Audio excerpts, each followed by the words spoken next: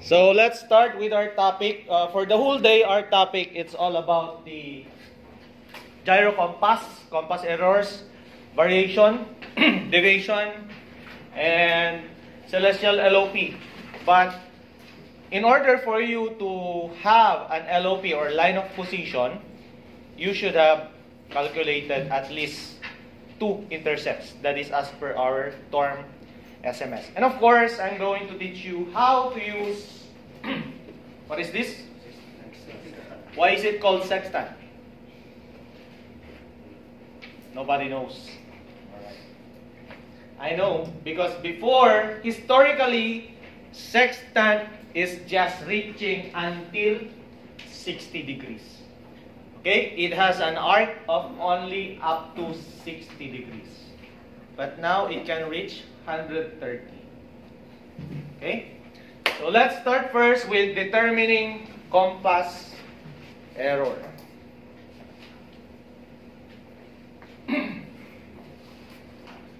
so at the end of the sessions, participants shall be able to calculate gyro error, magnetic error, variation, and deviation. Gian, what is deviation? This deviations are the errors are between magnetic errors are and tumors. sir. No? General, Ah, uh, again sir, vari- variations sir. deviation. Uh, deviation sir. I believe sir deviation sir is the error. I forgot sir. JB, Um, deviation, sir, is the er- error that is um, affect, affected by the ship's um, by the ship's uh, met, uh, like the metal sir. like the metal, what is that metal doing? No coaching? Hey! One word is missing. Can anybody push JB to the answer? Friends, you're raising your two hands. See? No, you raise your two hands. Stand up. I think it's affected by the ship's magnetic field sir. Yes, correct. It's magnetism, no? When you say deviation, it's an error causing an error on your magnetic compass by the ship's magnetism. What about the uh, variation? Mark Hill. What about variation? What is variation? Like Help Mark Hill. What is variation?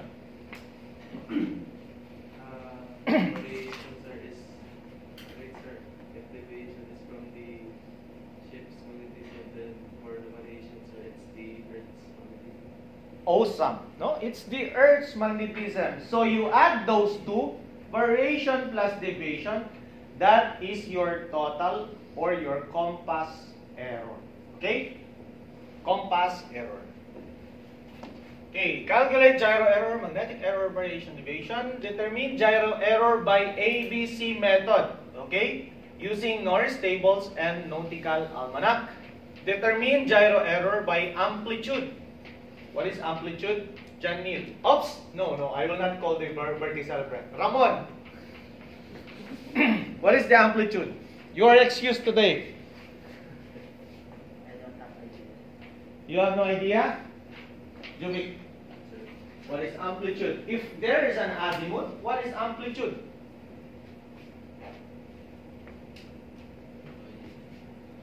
I'll give you a tip. Where does the sun rise and where does the sun sets?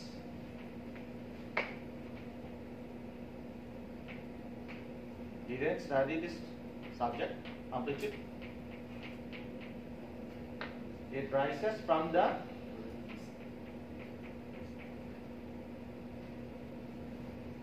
Where does the sun rise? Ramon? West? Patay! okay. Assignment, next it. Assignment, tell me what is amplitude later on. And where does the sun rise and sun sets, okay? And of course, write on compass error logbook. On board, you will encounter writing in a compass error book. And this book, actually, it is being uh, scrutinized by the third parties, such as vetting inspectors, port state control officers, okay, third parties, and even the masters during the navigational audit. So if you happen to fill it up and something is wrong, then probably it can be an observation against the vessel. That is why today I am going to teach you how to calculate gyro error and write on compass error book. so these are the terms that you use that are used in calculation. Okay? Declination, it's the angular distance of a point north or south of the celestial equator. Meaning to say, it is uh, the synonym of the terminology from terrestrial, it's the, the parallel of latitude. But on the celestial term, it is the declination. Right ascension, astronomical equivalent of longitude uh, of an object measured eastward from the first point of Aries, also called the vernal equinox. Okay? Yung tinatawag natin na season na spring. Okay? The first point of Aries is named after the Aries constellation. Then we have the equinox and the solstice. Winter, spring, summer, or fall. Ito yun, no? We have autumnal equinox, winter solstice, vernal equinox, and summer solstice. Do you remember this? Have you studied this one? No? Others are saying yes, others are saying no. Okay? It's the moment in the year when the sun is exactly above the equator and day and night are of equal length. Also, either of the two points in the sky where the ecliptic, the sun's annual pathway, and the celestial equator intersect. Sige, I will ask you one thing. Rans, alin ang umiikot? Is it the earth or is it the sun? The earth? Okay, good. okay. Now we go to GHA or the Greenwich R angle. It's the angle, angular measure of the celestial body from the Greenwich meridian, also known as the prime meridian, okay, measured along the celestial equator. So Greenwich R angle, it is from the Greenwich meridian, aka prime meridian. Increments, it is the addition, meaning yung dagdag doon sa degrees, minutes, and seconds. Increase or addition, especially one of a series on a fixed scale. Dagdag doon. So I have a paper that is about the increments. Okay, let me just look at it. Yes. Increments and correction. Okay? You have it later. Then we have the LHA, or the local hour angle, okay, calculated from your assumed longitude. Assumed longitude, meaning rounded off. Kung ano yung longitude mo, it is rounded off. Adjusted by the GHA, it is the angle between the meridian of your assumed position and the meridian of the geographical position of the celestial body. Meaning, from your assumed position, latitude and longitude rounded off, to the celestial position of that body, whether it is sun, stars, or planets, and even moon. Okay? Now we got the GHA of Aries. Aries has a GHA which changes second by second, just the way the GHA of the sun does. To find the GHA of a star, it is necessary to first find the GHA of Aries. So meaning to say, bago ka mag-calculate ng GHA of the star or SHA of the star, you should have your GHA Aries first. this is the distance west from the Greenwich meridian to Aries. Meaning, it is westward. The SHA measures west from Aries to the meridian of the star. Then we have the star hour angle. Yung sinabi ko kanina, star hour angle. Angle between the observer's meridian and the meridian of right ascension which passes through the star. Our angle runs from minus 12 to plus 12. Bakit? Kasi 24 hours. Stars with negative R angle, R angles are yet to transit the meridian. The SHA of a body on the celestial sphere is its angular distance west of the vernal equinox, generally measured in, degrees. No, look at the representation. There's the right ascension, okay, GHA, SHA, LHA, declination, and then the polar distance, also the parallel of declination. Example, you have your Greenwich and then the longitude of the vessel. Okay? And with that, from that uh, assumed position or assumed longitude going to the sun, you will have your LHA. Understood?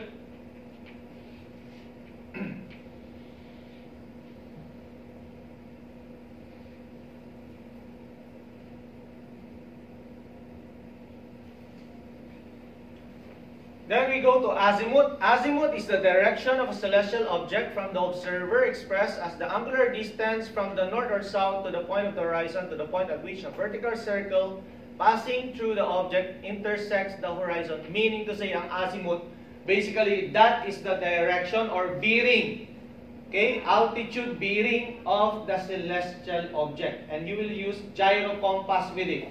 Okay? Naintindihan?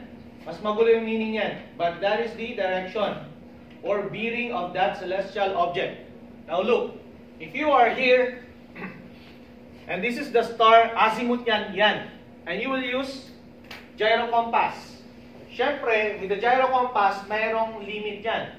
Less than, dapat less than 45 degree angle. Kapag masyado mataas na, mahirap na. Hindi na siya masyadong accurate yung bearing. Okay? Amplitude. Oops. Okay. Amplitude is the azimuth of a heavenly body when it is an observer's rational horizon. When you say rational, yun yung nasa uh, where wherein the the horizon or the sea and the uh, skies meet. Yun yung rational horizon. The angle represented between the prime vertical circle passing through the east and west points kung saan nagra-rise at nagsisent ang sun. And the vertical circle passing through the body is called the amplitude of the body. Now look, uh, example, is 32 north. Okay? Meaning rising. The sun is rising, but that 32 degrees is measured from east first, going there. Hindi yung pa ganun. Malinaw? That is why when we talk about amplitude, Okay? The eastern and the western hemisphere is mentioned or written first before the north or the south. Kasi amplitude siya. Understood? Okay. Now, with the west 32 south, okay, meaning setting. Or kahit nandito yan, setting din yan. Kahit nandito, rising yan. Kasi we're talking about amplitude. Okay? Different siya sa azimuth. now we have the zenith and the nadir. This is your zenith. That is your nadir. Okay? The point of the celestial sphere that is directly opposite the nadir and vertically above the observer. Okay?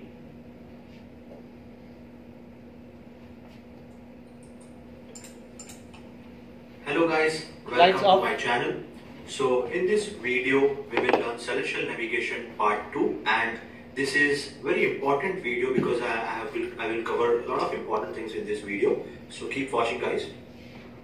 So in my previous video I had covered till declination, how to define declination. Now in this video let us start with other topics that is GHA, LHA, SHA.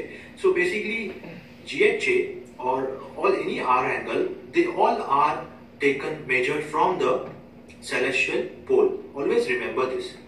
They are always measured, they are the angle at the celestial pole or they are the arc at the equinoctial. Always remember this. Now, as the word suggests Greenwich, so let me take a celestial meridian which is passing through the Greenwich uh, location on the earth. So, this red line you can see, this red line is passing through Greenwich. Now, let me bring the equinoctial.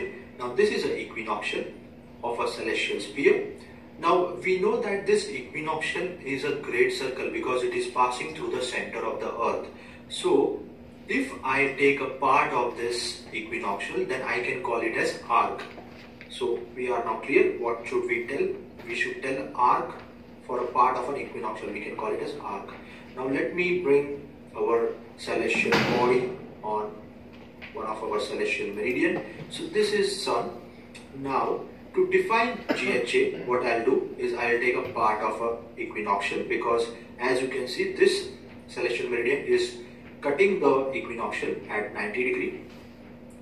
So to define GHA, GHA Greenwich hour angle of a celestial body is a arc on the equinoctial or it is an angle at the celestial pole contained between the red line that is called as a Greenwich line or you can say a celestial meridian passing through Greenwich and the other celestial meridian passing through the celestial body. So one is celestial meridian passing through Greenwich and the other is celestial meridian passing through the celestial body.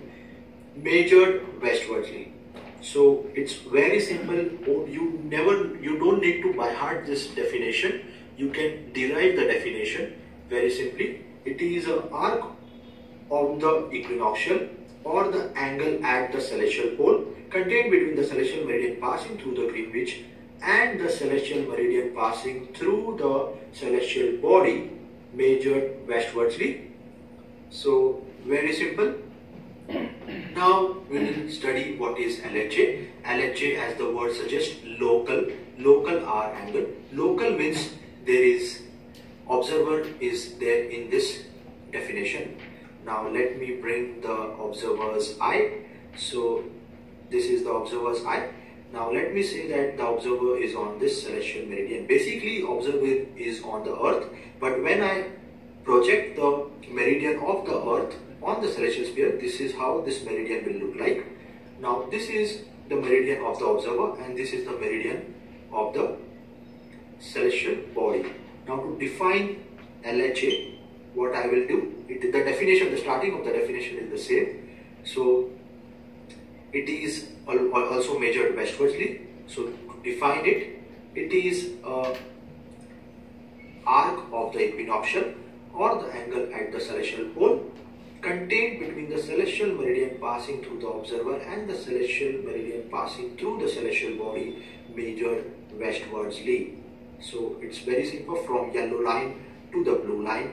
This is LHA and definition to define you can just derive the definition you don't need to by heart so LHA is also very clear now